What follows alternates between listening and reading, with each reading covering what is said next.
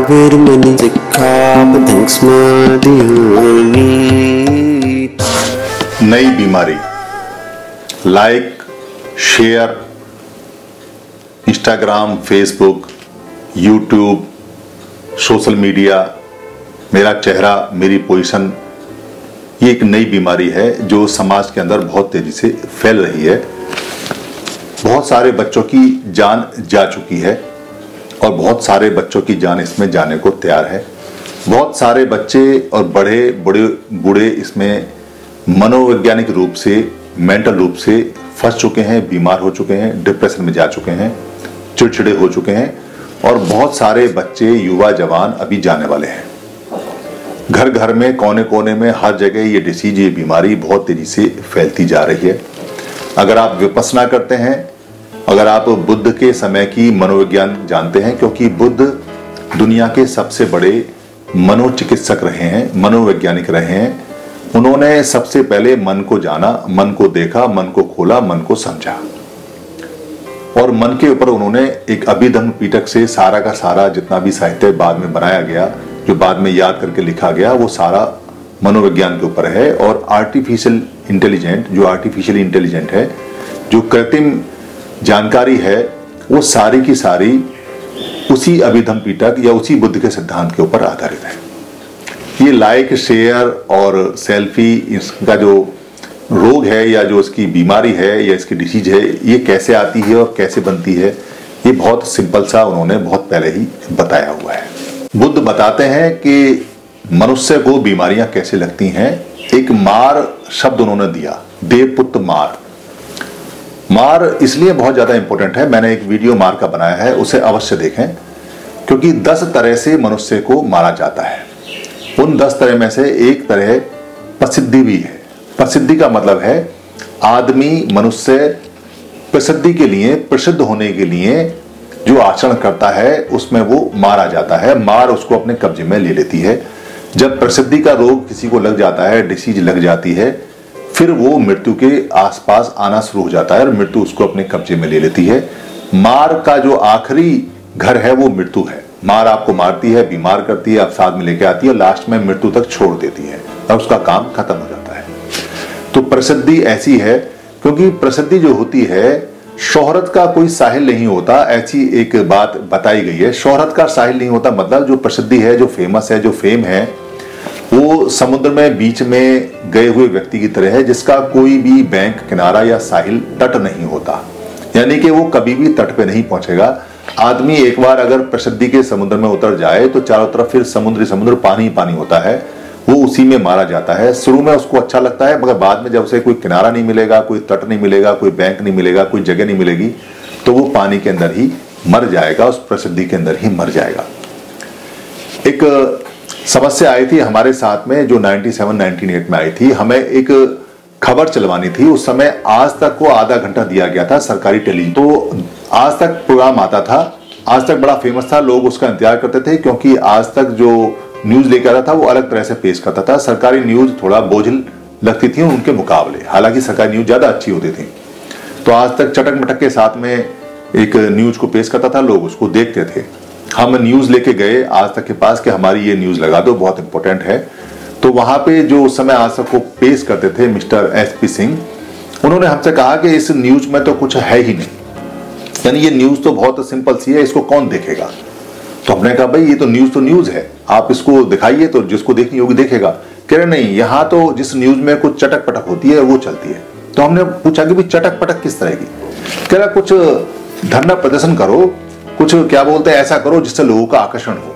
तो हम उनकी बात समझ गए। मैंने कहा, आप हमसे ये कहना चाहते हैं कि हम सेल्फ इमुलेशन करें, यानी कि हम अपने आप को जलाएँ, हम भूख हड़ताल करें, मरने के लिए तैयार हो जाएँ, हम पेट्रोल छिड़क के आग लगाएँ, ताकि आप वीडियो बनाएँ और वो चले कि देखो आंदोलनकारियों ने अपनी मांगे मानने के लिए अपने आप को आग लगा दी या भूख हड़ताल कर दी। वो चटक मटक है। बोला नहीं, मैं ऐसा तो नहीं कह रहा।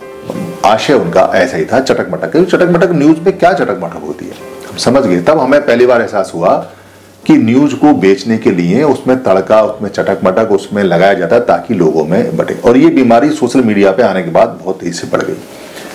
लोग अपना चेहरा, अपना नाम और अपने आप को फ़ेमस अपने आप को प्रसिद्ध करने के लिए बच्चे, बूढ़े सब इस कदर लगे हुए हैं कि वो भौंडी से भौंडी हरकत भी कर रहे हैं।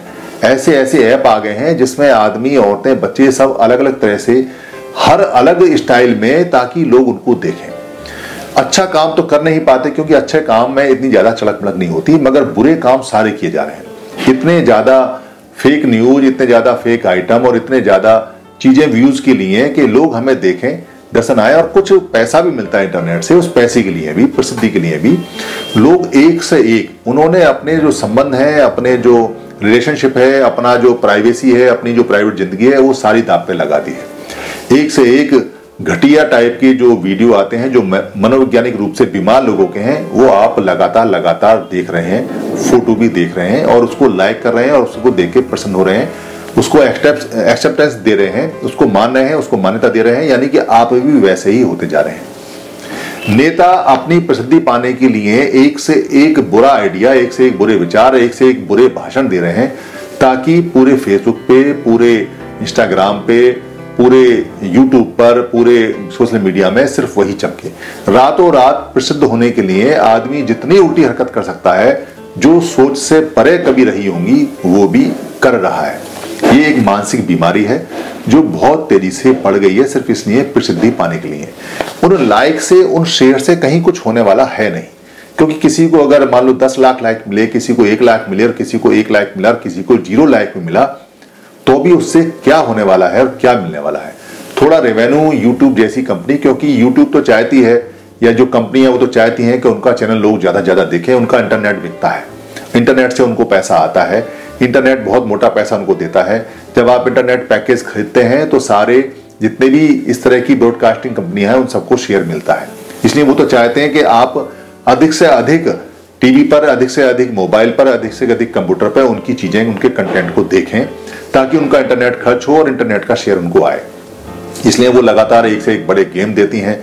सारे जितने भी गेम आते हैं या जितने भी भोंडी चीज़ें आती हैं, वो सारी की सारी मार पर आधारित होती हैं। मार का मतलब है या तो वासना उनमें भरी होगी, या उनके अंदर क्राइम भरा होगा, या उनके अंदर हिंसा भरी होगी, या उनके अंदर गाली गलौज भरी होगी, या उनके अंदर जो एथिक्स है वो एंटी मॉरल होंगे। यानी कि सदाचार के विपरीत होंगे, वो व्यवचार पे आधारित होंगे या वो बिल्कुल परंपराओं को उल्टा करने वाले होंगे, या वो जीवन के विरुद्ध पद्धति पर आधारित होंगे, या वो प्रकृति के अगेंस्ट में होंगे, नेचर के अगेंस्ट में होंगे, जो शरीर को नुकसान पहुँचा रहे होंगे और मन को नुकसान पहुँचा रहे होंगे। लोग एक से एक क्रिमिनल हरकतें कर रहे हैं, एक दूसरे को मार रहे हैं, सिर्फ़ इसलिए कि मीडिया उनको अटेंशन दे रहा है, लोग उनको अटेंशन दे रहे हैं, देखो क्या किया इसने, वहाँ फायर किया, इसने वहाँ गोली चलाई, इसने वहाँ ऐसा किया, इससे प्रसिद्धि पाने वाली बीमारी लगातार बढ़ रही है, इसके रिज़ल्ट लगातार बढ़ रहे हैं। भगवान बुद्ध ने इसको प्रसिद्धि के रूप में, मार के रूप में बताया था कि मार जब प्रसिद्धि को सर में डाल देती है, आपके दिमाग पे हावी कर देती है तो आप एक से एक भौंडी बात कहते हैं। अगर आपको रातों रात प्रचारक बनना है, स्टार बनना है, नेता बनना है तो आप वो सबसे खराब बात जो क्रिमिनल हो सकती है, जो एंटी हो सकती है, उसको बोल दीजिए। मीडिया वाले अपने व्यूज़ इकट्ठे करने के लिए, अपना पैसा इकट्ठा करने के लिए उसको चलाएँगे बार बार, और उसमें तड़का लगा के उस जो उसका टाइटल है, वो बड़ा ही ऐसा बनाएँगे कि देखो इसने क्या किया। ये जानकर आपको मिलेगा इतना फ़ायदा। ऐसा देखकर आप बनेंगे करोड़पति। उस व्यक्ति ने ऐसा किया तो उसको मिले दस लाख। ये नहीं जाना तो कुछ नहीं जाना। ये जीवन की चार बातें आपको हमेशा सुखी रखेंगी। ऐसा करेंगे तो आप बन जाएँगे अरबपति। इस तरह की अनर्गल बातें टाइटल सिर्फ़ बेचने के लिए डालते हैं। सारा सेक्स जितना भी है, वो उसमें फ़ोटो लगाते हैं। इसलिए कि प्रसिद्धि व्यू और लाइक उसमें आए। बेशक समाज गड्ढे में जाए। भगवान बुद्ध ने बहुत पहले मार के रूप में इसको बताया। इसका उन्होंने उपाय बताया कि आपको विपसना साधना में जाते रहना चाहिए। विपसना साधना के 200 सेंटर पूरी दुनिया में हैं। 100 के करीब सेंटर पूरे इंडिया में है।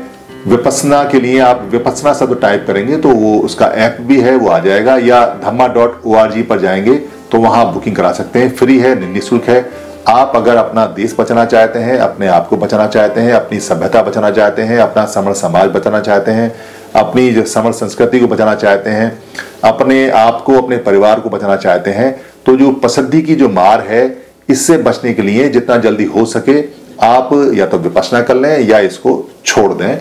ये नई बीमारी है, ये बहुत बच्चों को चपेट में ले चुकी है, बच्चे अपने एजुकेशन खाना सब छोड़ चुके हैं। उल्टी सीधी हरकत कर चुके हैं। आपने देखा होगा, कई गेम ऐसे आए हैं जिनमें बच्चे सुसाइड करके मर जाते हैं। बहुत सारे बच्चे सेल्फी लेते समय पानी में बह जाते हैं, दीवार से गिर जाते हैं, मीनार से गिर जाते हैं। बहुत सारे बच्चों की सेहत खराब हो चुकी है, बहुत सारे बच्चों की आँखें खराब हो चुकी हैं। बहुत सारे बच्चे हैं जिनका मन नहीं लगता, बहुत सारे बच्चों को मोबाइल की बीमारी लग चुकी है। अगर मोबाइल उनके पास नहीं होगा तो वो अनिजी हो जाते हैं, बेचैन हो जाते हैं, परेशान हो जाते हैं। बहुत सारे लोग उनके पास नया मोबाइल नहीं है अच्छा मोबाइल नहीं है इसलिए डिप्रेशन में चले जाते हैं। बहुत सारे लोग घर से पैसे चुरा कर इंटरनेट खरीदते हैं और इंटरनेट में डलवा के उसमें जो गंदी गंदी या बेकार या जो ऐसी सेक्सुअल पिक्चर हैं, उनको देखते हैं, उन फ़ोटो को देखते हैं। बहुत सारे बच्चे कोने में बैठ के जब बात करते हैं चीत करते हैं, इसका मतलब कि वो अच्छा काम नहीं कर रहे हैं, क्योंकि जो व्यक्ति अच्छा काम करेगा, वो बिल्कुल खुले में करेगा। और सबसे बड़ी बात यह है कि कोई भी आदमी अगर अच्छा काम करेगा तो वो अपने मोबाइल में लॉक लगा के नहीं रखेगा, अपने मोबाइल में कोई कोड फ़ीड नहीं करेगा। परिवार में सबके मोबाइल अगर खुले हुए हैं, इसका मतलब परिवार ठीक है। और अगर परिवार में सब लोगों ने अपने मोबाइल में लॉक कोड लगा रखे हैं, कोड फ़ीड कर रखे हैं, और एक दूसरे से मोबाइल को छुपाते घूमते हैं, इसका मतलब उनके मोबाइल में अच्छी सामग्रियाँ नहीं है, इसलिए वो छिपाते हैं। धन्यवाद.